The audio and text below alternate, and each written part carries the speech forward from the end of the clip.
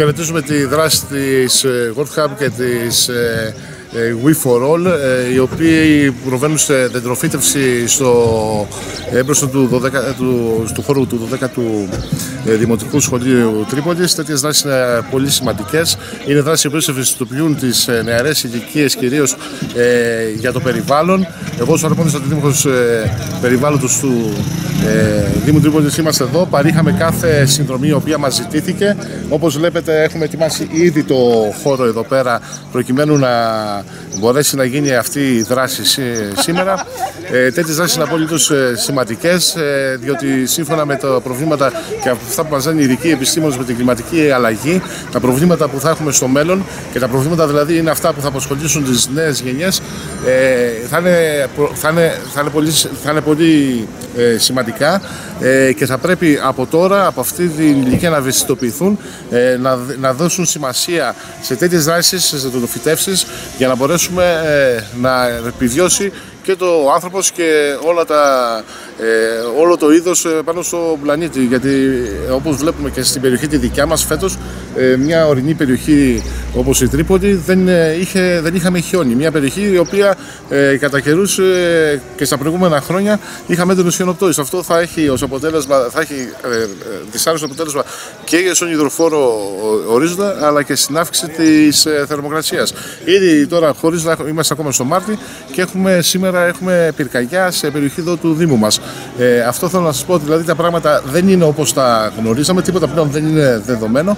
Ε, πρέπει να είμαστε όλοι οι αρμόδιοι φορείς σε ετοιμότητα και σε επιφυλακή και θα πρέπει αυτό που κάνουν σήμερα αυτές εδώ οι δύο ε, σπουδαίες οργανώσεις είναι να βρουν μιμητές έτσι ώστε, όπως είπαμε και από πριν, ε, να υπάρξει ευαισθητοποίηση ιδιαίτερα στις νεαρές ηλικίες προκειμένου να, δω, να, υπάρξει, να δοθεί σημασία επιτέλους στο περιβάλλον και η κλιματική αλλαγή να μην να μην είναι πρόβλημα στο μέλλον.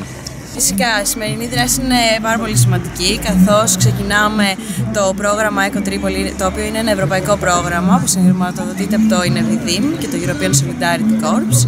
Ε, προσπαθούμε έτσι να ενδυναμώσουμε τους νέους της πόλης μας και να τους ευαισθητοποιήσουμε για τα περιβαλλοντικά ζητήματα, τα οποία είναι πάρα πολύ σημαντικά στη σημερινή εποχή. Ε, αυτή είναι η πρώτη δράση, θα κάνουμε και άλλες στο μέλλον πολλές. Υπάρχει ε, ε, γιατί βλέπω ότι το τελευταίο διάστημα έχουν γίνει και άλλες δράσεις τέτοιου είδους ε, με την περιβαλλοντική ευαισθητοποίηση, θα μπορούσαμε να πούμε, που έχει και ο δικός σας οργανισμός.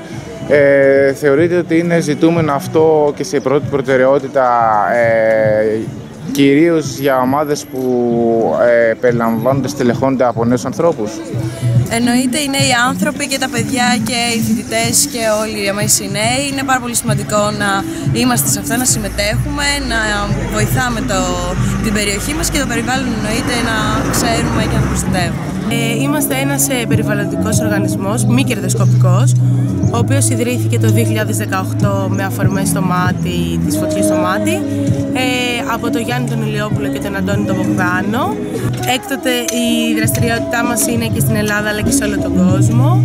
Ε, φυτεύουμε καθημερινά δέντρα και εκπαιδεύουμε και σχολεία όσον αφορά ε, το κομμάτι του περιβάλλοντος και όχι μόνο.